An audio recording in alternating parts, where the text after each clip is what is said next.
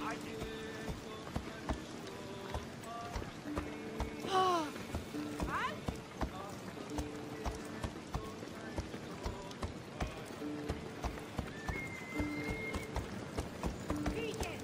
E ciao a tutti, un saluto a tutti gli iscritti e per chi fosse capitato invece per caso sul canale, come sempre rinnovo l'invito a iscrivervi, mettere mi piace al video se vi è stato di aiuto o vi è piaciuto, condividerlo se vorrete, ma soprattutto scrivere nei commenti se avete bisogno di qualche aiuto per quanto riguarda Odyssey. Per ottenere questo set dovrete eliminare tutti i membri della setta che riguardano il ramo della Lega Peloponnesiaca. Qua sotto in descrizione vi metterò anche il link del video in cui vi spiego dove si trovano i vari membri. Tornando a questa build ho deciso di aumentarne il danno critico e il danno guerriero utilizzando spada e lance, in particolare la spada di Nicolao in onore di Sparta. Inoltre, essendo proprio l'eroe spartano, ho deciso di aumentare i danni contro i soldati ateniesi, Possiamo dire che l'obiettivo principale quando ho creato questa build era capire quanti danni avremmo potuto infliggere ai soldati ateniesi.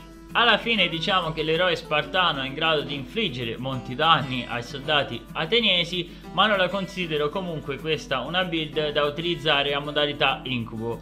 Anzi ve la sconsiglio perché è decisamente debole per quanto riguarda l'armatura e sinceramente ragazzi appena sbagliate qualcosa venite eliminati. O quantomeno diciamo che a modalità incubo si possono avere delle build migliori. Al di là della forza di questa build sinceramente a me piace molto l'aspetto. Diciamo che quella dell'eroe spartano stilisticamente diciamo così secondo me è tra le più belle. A proposito di questo giudizio chiedo anche il vostro parere. Fatemi sapere cosa ne pensate nei commenti a seguire, come sempre, vi lascerò ad un video in cui vi mostro le abilità che ho scelto e i livelli di maestria che ho aumentato. Detto ciò ragazzi, un saluto e al prossimo video. Buona visione! Ciao ragazzi!